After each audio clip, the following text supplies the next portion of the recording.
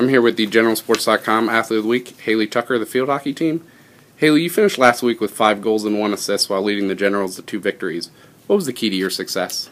Um, I think the success really comes from the team. The last few weeks, we've been really working on attacking as a team, and it's really true that when we play together, that's when we're most effective. So I think in the last few games, especially, we've been really working on finishing as a team and taking those opportunities given. Um, so I think the last few games, it's really been the success has been attributed to my teammates and just being in the right place at the right time.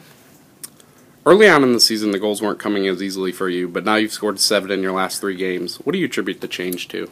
Yeah, it was pretty frustrating in the beginning of the season. Um, I had a lot of shots and they just didn't really seem to fall.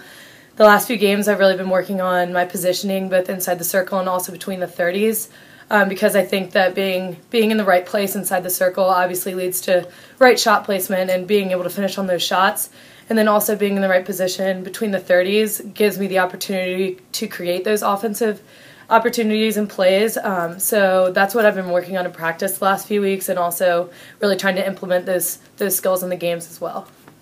Then finally, the team travels to Shenandoah on Wednesday and then plays at Dickinson on Friday. What are your expectations for those contests? Um, obviously, I think we, we expect to come home with two wins. Uh, Shenandoah is a really big conference matchup a rematch from last year's ODAC championship. So I think we're all really excited to get out on that field and improve why we we should be able to host the ODAC t- tournament. So um, I think we're really excited for that. And obviously Dickinson is a great out of conference matchup that we're also very excited for. So I think we expect to come home with two wins and hopefully do it decisively.